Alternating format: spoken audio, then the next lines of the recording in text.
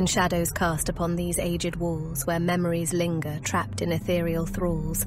A spectre am I, haunting this manor lost in timeless passage.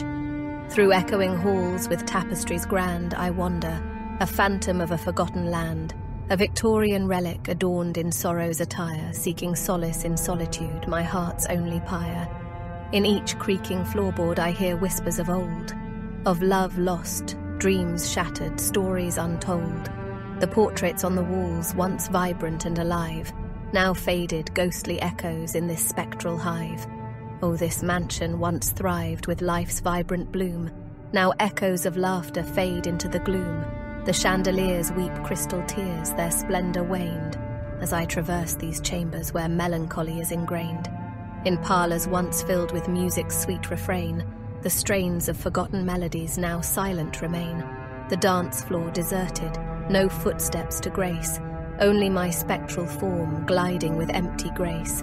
I peer through shattered panes where moonlight cascades, an eternal sentinel within these hallowed shades.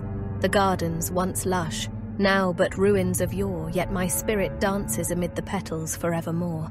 Oh, to be freed from this temporal plane, to escape this eternal chain, but here I shall linger amidst memories of old, a ghost adrift in an abandoned abode.